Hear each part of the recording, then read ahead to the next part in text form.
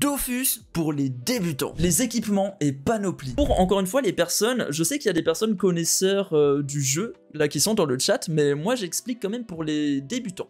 Là déjà ce qu'on est en train de faire c'est tout simplement le tutoriel de début, mais déjà aussi pour ceux qui ne lisent pas ce que le jeu leur dise, pour équiper quelque chose faut double-cliquer dans dans la catégorie équipement. Il y a une catégorie aussi pour plus tard objets utilisables, il faudra double-cliquer aussi, et une catégorie ressources où là, bah, c'est les choses que vous allez dropper, que vous allez faire avec les métiers, etc. Par contre, vous n'aurez pas à double-cliquer dessus. Double-cliquer dessus, ça fera rien, sauf si vous voulez fabriquer quelque chose avec vos métiers, on va bientôt voir ça. Mais par contre, le truc intéressant, intéressant, c'est tout simplement déjà que quand vous passez votre souris sur un équipement, vous voyez ces statistiques. Là, c'est marqué effet, une vitalité, une initiative. Si vous appuyez sur CTRL, CTRL en même temps, ah bah non, là ça fonctionne pas vu qu'on est dans le tutoriel, mais euh, je vous montrerai plus tard du coup.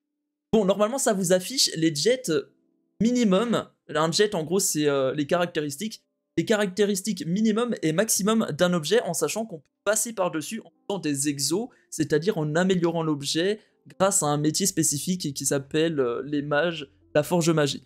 Et par contre aussi, là par exemple au tout début du jeu, on a quoi? On a tout simplement euh, une panoplie. Ce qui nous est donné, c'est une panoplie de débutants. Vous faites sur un objet un clic droit, vous cliquez sur panoplie, et là vous voyez ce que ça fait quand vous avez tous les objets de la même panoplie qui sont, entre guillemets, associés, directement équipés sur vous en fait. Si vous en avez deux objets pour cette panoplie, vous gagnez deux vitalités en plus de tous les trucs que vous avez déjà gagnés, et deux initiatives.